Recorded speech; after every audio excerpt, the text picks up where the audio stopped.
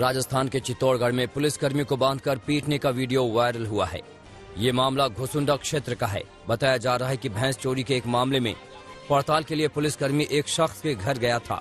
मगर आरोपों के मुताबिक पुलिसकर्मी ने घर में महिला से छेड़छाड़ की, जिसके बाद परिजनों का गुस्सा फूट पड़ा और परिजनों ने पुलिसकर्मी को बांधकर जमकर पीटा।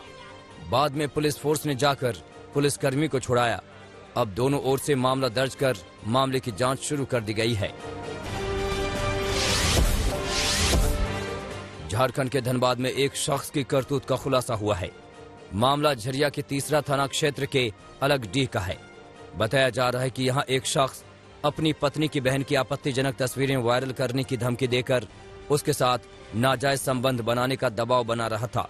परेशान होकर महिला ने पुलिस में मामला दर्ज कराया, जिसके बाद पुलिस ने आरोपी को गिरफ़्तार कर लिया है और जेल भेज दिया है। बिहार सरकार सूबे में शराबबंदी के लाख दावे करे, मगर बिहार में शराब की तस्करी धड़ल्ले से जारी है। ताज़ा मामला नालंदा का है, जहाँ भारी मात्रा में शराब की खेप बरामद की गई है। जानकारी के मुताबिक परवर पुलिस को सूचना मिली थी कि शराब की तस्करी हो रही है। पुलिस ने छापेमारी की तो करीब आठ सौ सत्तावन कार्टन शराब मिली।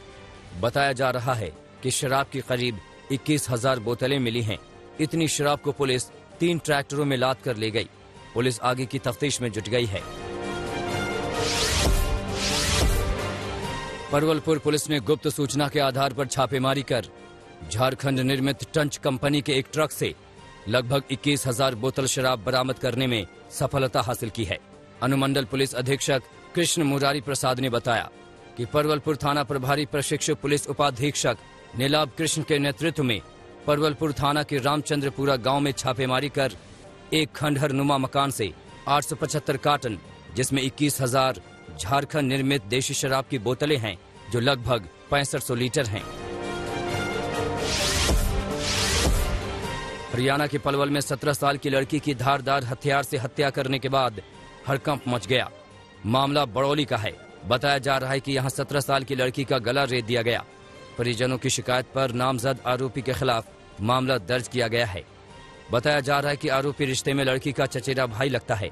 शिकायत के आधार पर मामला दर्ज कर लिया गया है। और आरोपी की तलाश तेज कर दी गई है।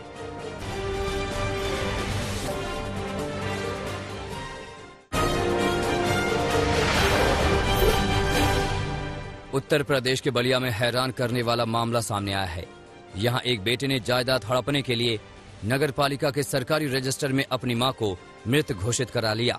इस गुनाह में नगर पालिका के दो कर्मचारियों ने भी युवक का साथ दिया।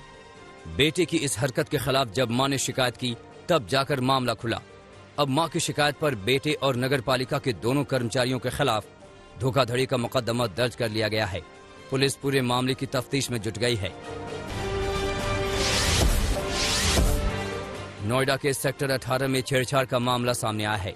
अपने ट्विटर हैंडल पर एक शख्स ने शिकायत की है कि नोएडा सेक्टर 18 में मल्टी स्टोरीज पार्किंग के कर्मचारी महिलाओं के साथ छेड़छाड़ करते हैं।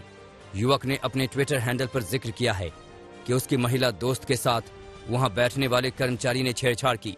युवक की शिकायत पर नोएडा के कमिश्नर ने संज्ञान लिया है और सेक्टर 20 के थाना प्रभारी को मामले में जाँच कर उचित कार्रवाई के निर्देश दिए हैं। हरियाणा के झज्जर में एक युवक की गोली मारकर हत्या कर दी गई। मामला कस्बा बेरी इलाके का है। जानकारी के मुताबिक जिस शख्स की हत्या की गई, वो गुरुग्राम के फारूक नगर का रहने वाला है। बदमाशों ने युवक के सिर में दो गोलियाँ जबकि पेट में एक गोली मारी थी। पुलिस के मुताबिक फारुख नगर में इस शख्स का अपहरण किया गया था। पुलिस हथियारों की तलाश में जुट गई है।